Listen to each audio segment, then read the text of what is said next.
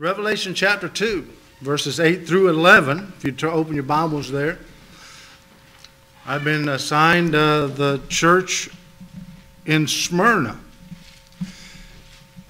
This is one of the two churches of Asia that had nothing negative directed toward those congregations. This, this is one of the two.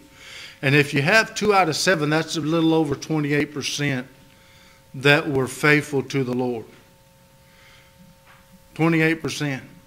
When you think about statistics and numbers, and you look at things like this, you know, the Bible says many are called and few are chosen. This kind of indicates that. How many people were on the ark in Noah's day?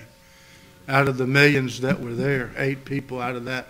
Uh, Matthew chapter 7, verse 13 and 14, the two, the, the, the narrow, uh, straight gate and the broad way and the wide gate, uh, many there be, in, be that enter in thereat, and few there be that find it.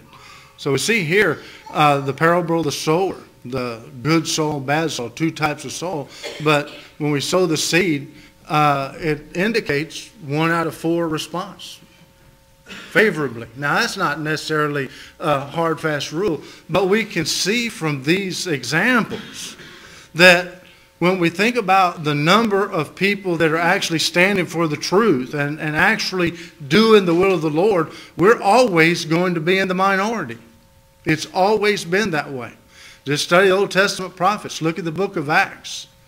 Uh, again, over and over, we see this same uh, pattern, this same idea that the faithful are always the few. We always talk about sometimes the faithful few. Well, the Bible teaches that. It indicates that that's the way it's going to be. The world has a strong hold on a lot of people. Even among our own brethren, the, the pull of the world is strong and will pull some who have been seeming faithful for years. They're not immune to this problem that the world has to, to pull them away, that Satan's working on them all the time, constantly, trying to figure out what they can, what Satan can do to tempt us away from the truth, away from God, away from those that are in fellowship with God. I like the theme of this lecture, studying the seven churches of Asia, these epistles, these letters to those seven churches, and how it relates to fellowship. We need to keep in mind that as we study these lessons, the application is how does this uh, letter to this church relate to fellowship in the overall scheme of things? And so we're going to read our text and then we're going to come back, make some comments on it, and as we go along, we're going to make some application as it relates to fellowship. We turn to, to Revelation 2, beginning in verse 8, and under the angel of the church in Smyrna, write these things, says the first and the last, uh, which was dead and is alive. I know thy works and tribulation and poverty, but thou art rich, and I know the blasphemy of them uh, which say they are Jews and are not, but are, are, the, but are the synagogue of Satan. Fear none of those things which ye shall suffer. Behold, the devil shall cast some of you into prison, that ye may be tried, and ye shall have tribulation ten days. Be thou faithful unto death, and I will give thee a crown of life. He that has ears, let him hear what the Spirit saith unto the churches. He that overcomes shall not be hurt of the second death. You know, think about the church at Smyrna, it was located inland, uh, it was an inland seaport about 50 miles north of Ephesus, located in Ionia, uh, named for the Ionians who captured the city in 688 BC. Uh, it had a turbulent history. It had been destroyed once by the king of, of Lydia in 580 BC. Nearly 400 years later, uh, the city was rebuilt. Uh, Smyrna surrendered to Rome in 133 BC, and so they were under Roman rule. Uh, like Ephesus, Smyrna was known for emperor worship. They had a temple there for the emperor, people to go in and, and uh, pay tribute to uh, the emperor of Rome. Uh, Polycarp, the bishop of Smyrna, was a disciple of John and uh, was martyred in a great theater that was built uh, in this city that seated about 22,000 people. Uh, they claim to be the birthplace of the poet Homer and even had a, a building called the, a temple called the Homerion where you could go and pay tribute to Homer if you so desired. Uh, had a great citadel there called the Golden Lion Palace. Uh, it's a fairly large Jewish population and today is known as Izmir in Turkey. And so, again, a, a long history for this city. Uh, the Lord's church established there uh, even amongst the wickedness and the debauchery of this uh, city. It was a prosperous city. Uh, very wealthy people lived there. But it's interesting when we think about this, uh, the church, the brethren, are known as people that were in poverty. And, uh, but, they, but yet it says they were rich. And so we're going to talk about that in just a little bit. You know, in this lesson, we're going to we're going to consider a few things. The first thing we want to talk about is what God knows. What God knows. You know, in uh, Hebrews chapter four, verse thirteen, verse twelve and thirteen. Verse twelve talks about the word of God is quick and powerful as a two-edged sword, dividing even asunder the joints and marrow and, and soul and spirit. But then it goes on and talks about God the one that knows us, uh, who that we are an open book before. He knows all about us. And he's the one that it says that we have to do. He knows us. And it's illustrated here that God, as, as Brother Licky pointed out, God knows us. And you know, that ought to, when we think about fellowship issues, you know, we need to realize that God knows who we're in fellowship with. Whether we're in fellowship with the righteous or the wicked, God knows that. We can't hide it from Him. You know, even some people think, well, you know, uh, maybe I, I, have this sin and nobody knows about it. The preacher doesn't know about it. The elders don't know about it. Maybe my friends and family, nobody knows about it. But you know, even you can get it past all of us, human beings. But you're never going to get your sin past God because He knows everything about us. Notice here some things that God knew about the church at Smyrna. He said, I know their works. Think about that. He knew their works. And, and, and God knows not only the congregation here, their works, but He knows the individual works too. Have you ever thought about the depth of God's knowledge about what you do? Think about that. You, God knows everything you do, whether good or bad, but He knows their works. These were acceptable works. I know they were acceptable works because God didn't charge them with any sin. In Hebrew or Acts chapter 10 and verse 35. Everybody of every nation that does righteousness is accepted of God. It doesn't matter where you're from, doesn't matter your skin color, it doesn't matter how big your, your wallet is. Mine's not very big, it's kind of thin. But you know, it doesn't matter about doesn't matter your level of education. You could be highly educated, you could be illiterate. It doesn't matter. God knows your works. And God isn't interested in who you are. He's not interested in what color your skin is. He don't care where you're from. He doesn't care how much money or education you have, but he knows your works. He, he's interested in how well you're educated in this book right here. This is the education that's important. He wants us to be what? He wants us to know what this book is, to study it, to learn it, to do it, and teach it to others. That's our responsibility. That's all God wants of us. That sounds pretty simple, doesn't it? But I'll tell you what, it's very hard to do. Remember the numbers we talked about earlier, the statistics about how many are going to be saved, how many lost, how many faithful, how many unfaithful? Even though it's a simple task that God has set before us, it's still very hard for us to do. And so when we think about works, our works need to be good works, works of righteousness. Everybody has works.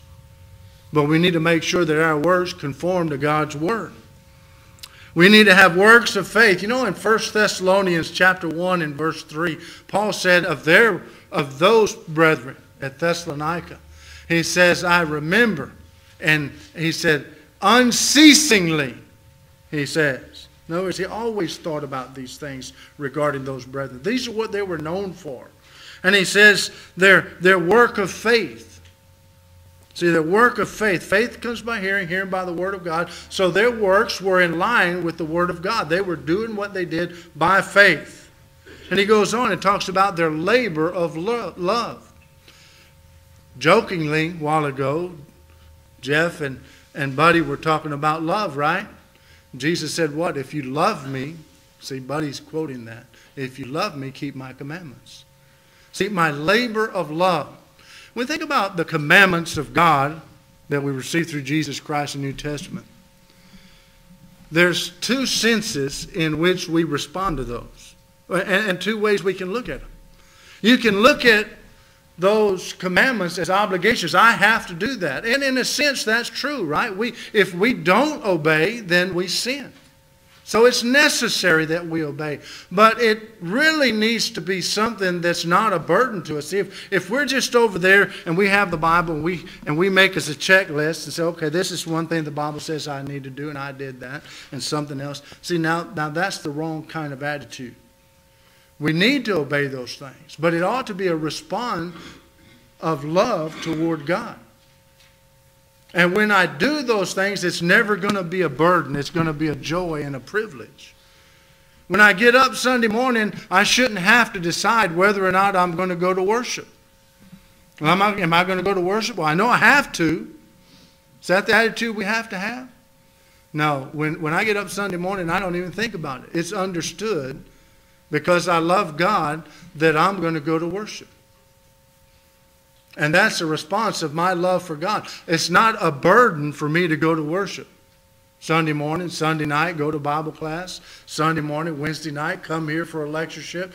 Uh, I like what Jeff said. It's a wonderful thing to come on a Saturday and, and have a lectureship. Some people don't look at it that way. They think it's a burden. See, it's not love. And it goes on patience of hope. Patience of hope. That idea of uh, endurance. Hebrews, or rather Romans chapter 5, verse 3 talks about uh, tribulation, and tribulation works what? Patience. And patience, experience, experience hope. But we have to endure those things that would try to hinder us. And so, our, our work of faith, labor of love, patience of hope.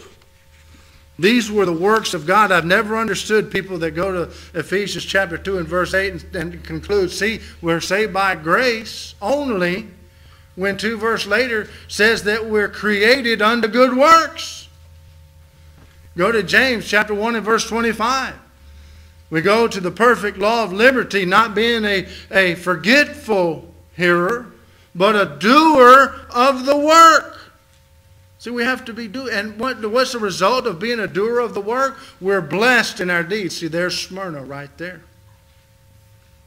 Now, let's make some applications about fellowship here. If we want to be in fellowship with God, then we need to be involved in the work that He has for us to do. Both individually and collectively as a congregation. We're talking here about the congregation of Smyrna. They were involved in the work. God knew their works and their works were works of righteousness. Now, what about other people that maybe not be involved in the work? See, it's doing this if-then thing that, that Brother Danny was doing.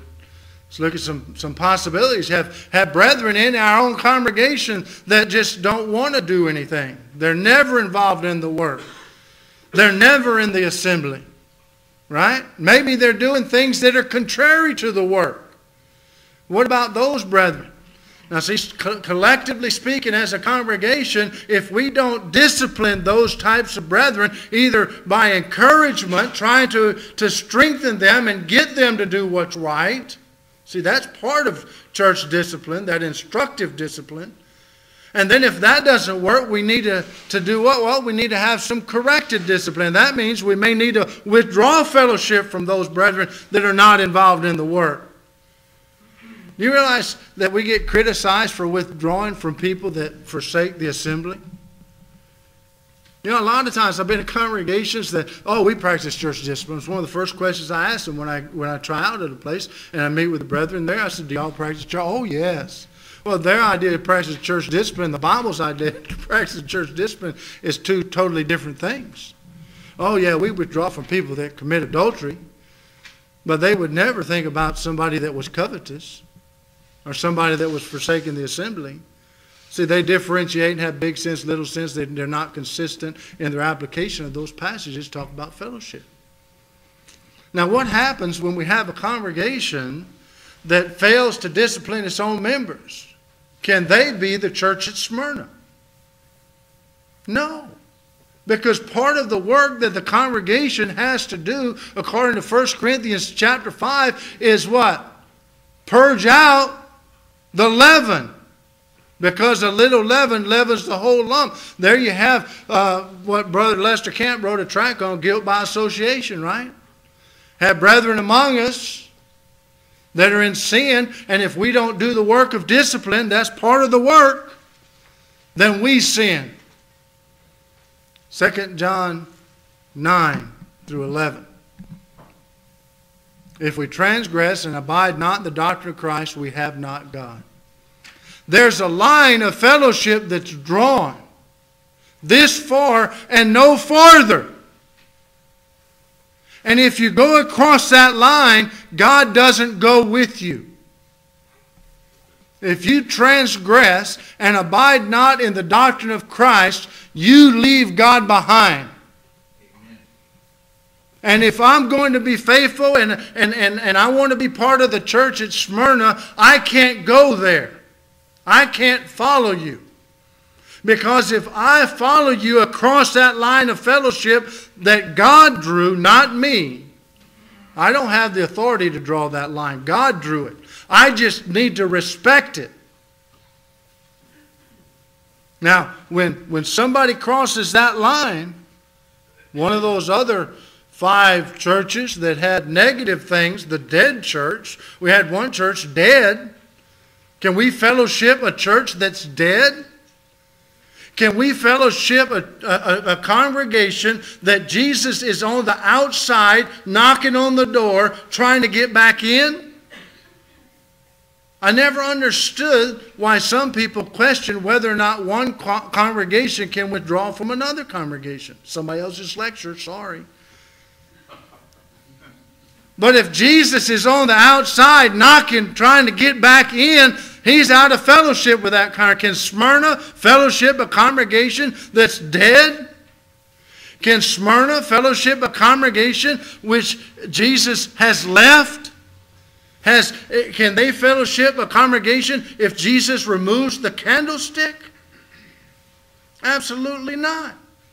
That's not really a hard thing to figure out. Maybe a hard thing to practice. See, that's what the deal is. It's, it's these principles on fellowship are easy to understand. The Bible's plain on it. What part of have no fellowship with the unfruitful works of darkness, but rather reprove them, is hard to understand. It, if it said have some fellowship, then we'd have to scratch our head and figure out which fellowship we can have and which fellowship we couldn't have, right? What darkness is okay? Well, it's not written. Have no fellowship. That's easy. If you transgress and abide not in the doctrine of Christ, you have not God. Is that hard to understand? No. Is it hard to understand that if we bid Godspeed to those people that have departed from the doctrine of Christ, we partake of their evil deeds? Is that hard to understand? Absolutely not. Smyrna understood this. Now, I don't know that, that we could ever say for sure, but the implication, the strong implication is that Smyrna would never fellowship another congregation that was out of fellowship with God. They would never do it. And I think it's from this reading that we can say that. Lord knew their tribulation. He knew their tribulation. Many early Christians suffered greatly for the cause of Christ. You know, in 1 Corinthians chapter 7 and verse 26, Paul said it would be better to remain unmarried. If you're not married, it'd be better to remain unmarried because of this present distress. Because of the tribulation and persecution the church was fixing to go through, it would be better to remain single. To not have the, the care and concern of a family. That's the kind of stress they were, uh, distress they were going through. 1 Peter chapter 4 and verse 1, talking about persecution, he says, Arm yourselves with the same mind. Same mind as Christ. Chapter 4 and verse 12, he says, Beloved, think it not strange concerning the fiery tribulation which is to try you as though some strange thing uh, come happen unto you. The fact of the matter is, we need to expect we need to expect tribulation in our life. Not just necessarily from, from being faithful Christians, but there's, there's all kind of things that happen to us as we go through life. I especially like the song that Brother Lee Moses sang, uh, led us in before this lesson. Never, never sang that song before but I, I, I, think that I would count it among my favorites now that I have. I really like the message of that song. Because there could come a time in our lives when just things in life happen to us. And life happens, I'm telling you uh, from, from personal experience of my own and, and, and as a preacher of, of about 30 years dealing with other people's situations. Things happen and it can really try our faith. It can hinder our spiritual growth, our progress as Christians. It can cause us to, to give up. But James says what? Count it all joy when you fall, fall into diverse temptations. You know, that's hard to, to get, isn't it? That's hard to grasp. Because when you're going through it and the hour's dark and you seem like you're standing by yourself, and you may be going through things that nobody in this world can help you with. But Peter reminds us, 1 Peter chapter 5, along about verse 6. We need to cast our cares upon Him because He cares for us. Even when we're by ourselves going through something seemingly alone, God is still with us. He cares for us. He knows what we're going through, and He can help us. Not to mention the fact that we have persecution from the brethren. Sometimes we may feel like we're alone there too. I remember Paul's final words to Timothy, 2 Timothy chapter 4, when he talks about at his first offense, no one stood with me, but all forsook me. How many gospel preachers have ever felt like that? Probably all of us. Seems like you're the only one standing for the truth. And in that case with Paul, that's what he says All forsook me, none stood with me, except the Lord. The Lord stood with him and delivered him. We're never really alone, folks. Even when it seems like we're alone, they're faithful brethren. There's faithful brethren around. We're not alone. But even when it seems like we're alone, God knows what we're going through. He knows our tribulation. And He cares for us. We can cast our cares for Him. He cares for us, and He'll deliver us. The Lord knew their poverty. Poor financially, but rich spiritually. Both of these were due to persecution. Domitian, Caesar confiscated their property and possessions. Think about that. You know, we live in a, a country that offers us some security from that. You know, a preacher, when he goes into full time preaching work, might have to give up a lot and has to give up a lot. Because you go to a congregation, once the honeymoon's over, what happens? You preach one of those moving sermons, right, John? Not that you move the audience to, to some spiritual higher plane, but uh, they moved you out of the preacher's house down the road, right? just once, I would like it when the preacher and the congregation butted heads that all of the members had to get up and move out of state. just one time. I'm real fortunate.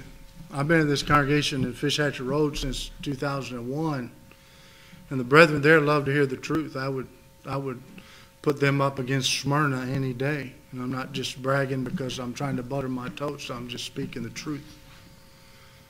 It's a good bunch of people over there that understand the importance of fellowship and maintaining the truth and defending the truth, and they like that. We have the enemies here identified. You know, there were some that professed to be Jews. And at one time they were God's people, but that ended at the cross, right?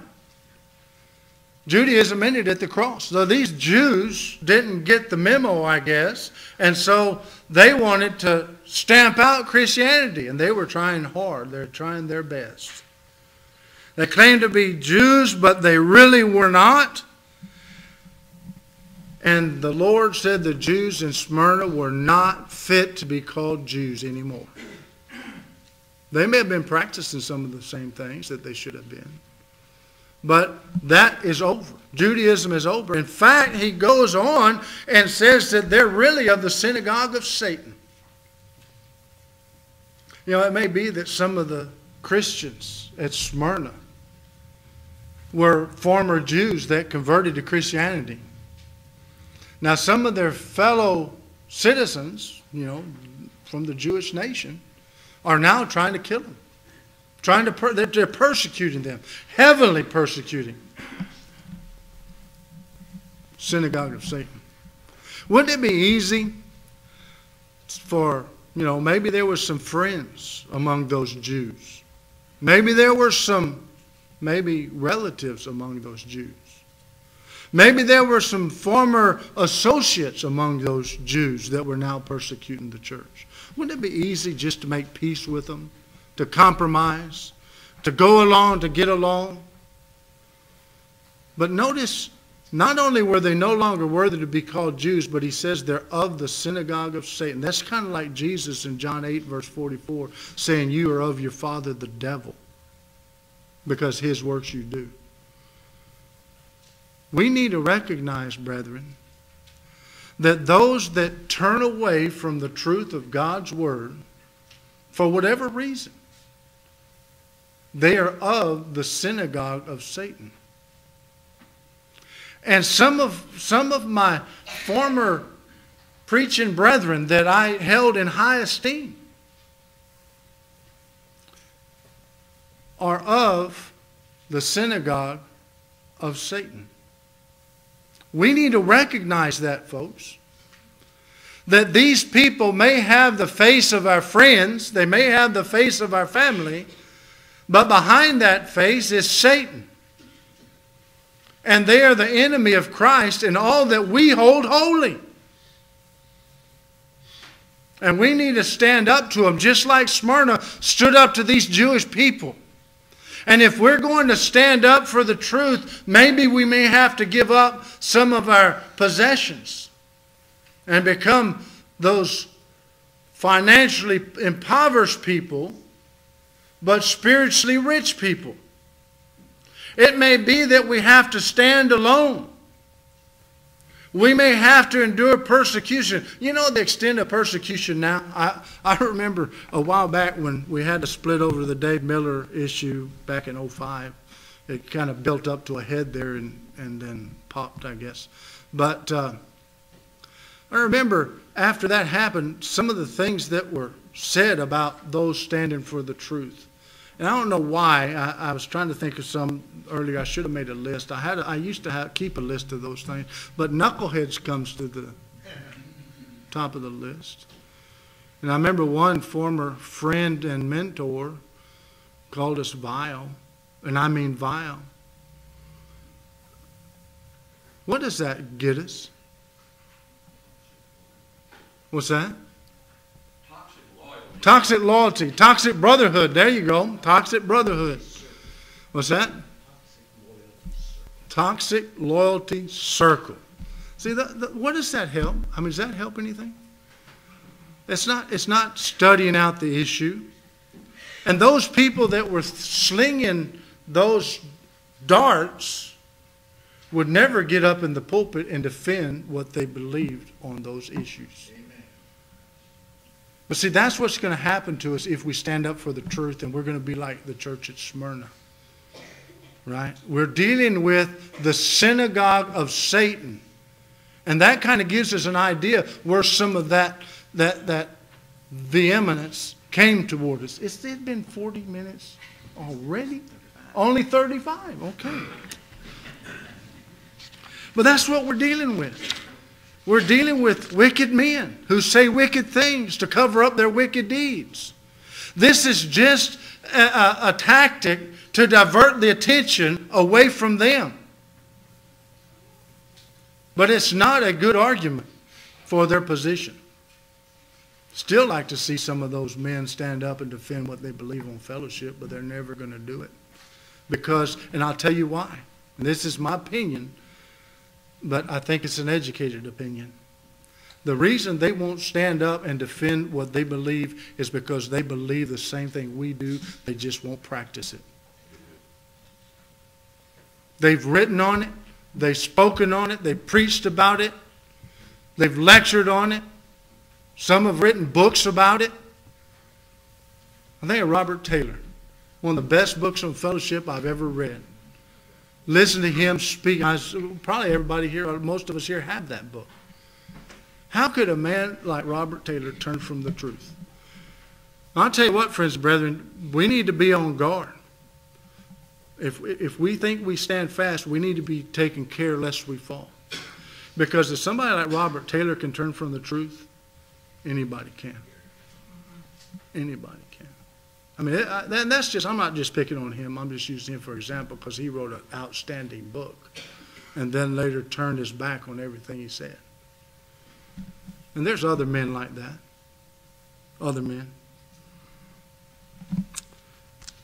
Many profess to be Christians who are not. Some dishonor Christ through unholy living, such as 1 Corinthians chapter 5 and verse 1 have divisions over every little thing in the, in, under the sun. But we have a promise in verse 10. We have the promise of suffering, 2 Timothy 3 and verse 12. Yea, and all they that live godly in Christ Jesus shall suffer persecution. If you're not suffering persecution, is that an indication that maybe you're not living godly in Christ Jesus? Those are people that go along to get along. You will have tribulation 10 days. This is the number symbolized extreme, extreme and complete tribulation. But notice this suffering was only for a period of time and it would end. There you go, have that idea of endurance and overcoming. Have that patience that we've been talking about. The Lord here is encouraging them not to lose heart. Be faithful to the point of death. Be faithful unto death. Some people look at that and say, well, that just means I need to be faithful from now on. Well, that's true. But this verse means be faithful even if it means giving up your life for the cause of Christ. Don't compromise your faith even if you have to die for it. Are we willing to, to have that kind of faith, to stand up and defend the truth and, and have the right kind of fellowship, even if it costs our life? Then we have the promise of life, a crown of life. 1 Corinthians 9.25, a crown that will last. A crown that will last not only for a small, short time, like the laurel crowns of the Isthmian Games, but, but what? A crown that lasts forever. 2 Timothy 4, 7, and 8. Fought a good fight, finished the course, kept the faith. See, after Paul had done those things, then he received the crown of life. If, if our Christian life was likened to a, a fight, a boxing match. Paul said, I fought a good fight. If it was likened to what? Uh, I fought a good fight, I've kept the faith, a stewardship. Paul was a good steward, right? I finished my course. If the life is a race, he finished his course. Henceforth, after he'd done those things, a lot of people want to have that crown of life without putting forth any effort. A lot of people want to have that crown of life even though they compromise the truth and turn away from it. But you just can't have it that way. a promise of freedom from death, Revelation 2 and verse 11. The second death is, in fact, reference to hell, Revelation 20, verse 14. Death means separation. Separation. When we die physically, James 2 and verse 26, our soul separates itself from our body and we experience death. The second death is eternal separation from God.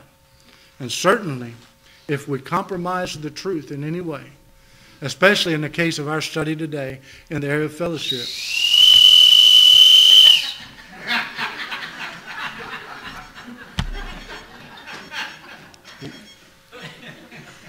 He even blew it early.